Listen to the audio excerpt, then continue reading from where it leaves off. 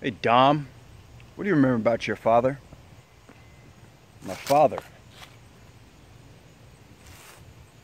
We used to have a uh, barbecue every Sunday after church for anyone in the neighborhood. Didn't go to church, didn't get any barbecue. Every day he was in the shop, and every night he was at the kitchen table with Mia, helping her with her homework. When she went to bed, he'd stay up a few more hours and learn the next chapter so he can help her the next day.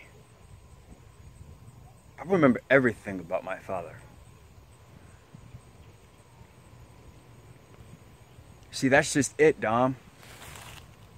I don't remember shit about my dad. I don't remember him yelling. I don't remember him smiling. To be honest with you, I don't even know what the hell he looked like. I don't remember. He was just never there.